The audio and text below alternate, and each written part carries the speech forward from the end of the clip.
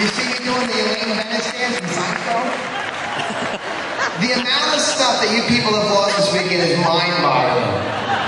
People are coming backstage. The gentleman bought the tennis bracelet up bought another bracelet up. Woman came back said, "Is there any chance that bracelet is too tight?" She was crying to get it back. I want you to know that. So thank you, sir, for bringing that forward. To the guy who froze his butt off walking home last night because he wants to know who has his black leather jacket. So if you picked up the wrong black, black leather jacket at the social last night, he would like it back. I got a new black leather jacket at the social last night that I'm not giving back. This, I assume, is a piece of costume jewelry. I don't know what the costume would have been. Maybe the Dread Pirate Roberts or perhaps something from Pirates of the Caribbean. But if this is yours and you have the courage to claim it,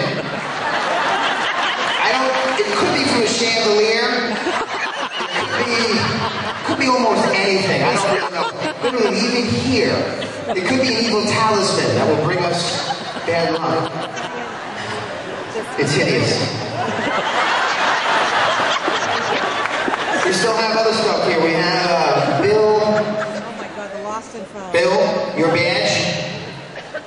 This is kind of nice.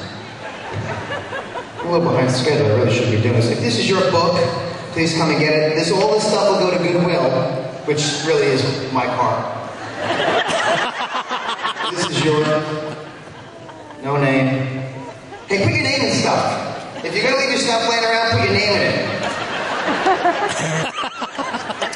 Talk to you about the meeting after the meeting. A woman, quite frankly, who's been in the business about three years. How do you know?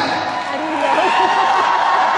It's a national supervising coordinator. She hails from Flushing, New York.